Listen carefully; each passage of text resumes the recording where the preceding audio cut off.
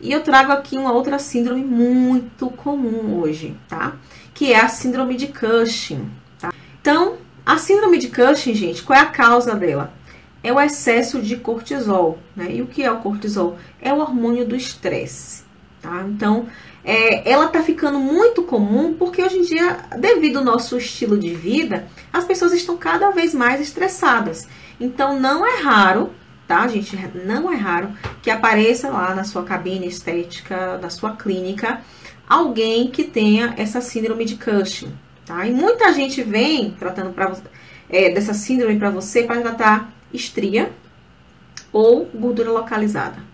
Tá? Ah, me apareceram as estrias aqui, né? Eu tô com a gordura também aqui na barriga.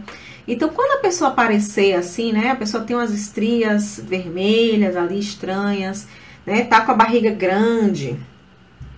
É, se você olha também se ela tem coxinha de gordura, tá, gente? Na corcova aqui, ó. Tá? Vê se tem uma gordurinha aqui, ó. A pessoa acumula também é, gordura no abdômen, no tronco, né? Tá com estrias na pele. A bochecha costuma ser avermelhada, né? É, tem má cicatrização de feridas. É, vocês já viram isso? Né? A pessoa que tá ali, né? Ela tá com, vamos falar assim, né? Com o bucho cheio, né? Com a barriga grande, né? O abdômen distendido. Porém, os braços e as pernas estão finos. Isso é um dos sinais da síndrome de Cushing, tá? A pessoa tem aqui na parte central do corpo um acúmulo grande de gordura corporal, porém as extremidades estão finas. E não só finas em largura, a pele também vai estar fina, tá? O tecido dessa pessoa também geralmente está flácido. E por causa dessa flacidez, essa pessoa vai ter as estrias, né? E por que que isso acontece, gente?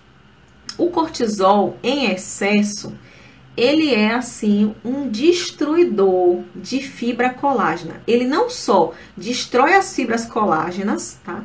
Como ele ainda favorece o acúmulo de gordura. Então, o cortisol, ele pode tá, interferir dessa forma. A pessoa tanto vai tá ali, ó, enchendo, enchendo, enchendo, acumulando gordura, como ela também vai ficar com a pele flácida, o que vai ocasionar as, as estrias. Então, muito cuidado quando aparecer alguém na sua cabine com esses sintomas. Essa pessoa, é, ela precisa de tratamento médico, tá? Ela precisa de tratamento médico, ela precisa colocar, tá? Porque o cortisol é um hormônio, então, se o cortisol está descontrolado, significa que outros hormônios também estão, né? Que é quem faz a inibição do cortisol, como dopamina, endorfinas, é, a própria melatonina também. Então, às vezes tem têm distúrbios no sono, então isso interfere também no balanço do cortisol. Então, essa pessoa precisa de um endocrinologista que faça né, o hormônio dela entrar no balanço de novo. Você pode atuar aqui, talvez com técnicas que ajudem a diminuir o cortisol, e nesse caso não vai ser uma técnica estética, tá?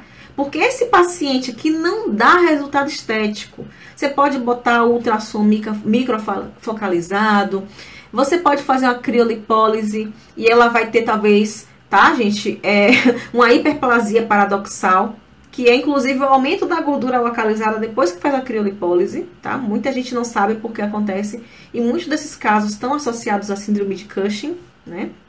Então, nada do que você fizer estético nesse paciente funciona. Então, tome muito cuidado com isso, tá? Essa pessoa aí não responde a, tratamento estético. Então, o que, que você pode fazer? É, se você insistir nesse tratamento, você vai ter resultados ineficazes. E a pessoa ainda vai sair falando mal de você, dizendo que seu tratamento é ruim, que não presta, tá? Você vai fazer o quê? Você vai dar uma massagem relaxante. Por incrível que pareça. Você vai fazer uma cromoterapia, ou você vai fazer aromaterapia.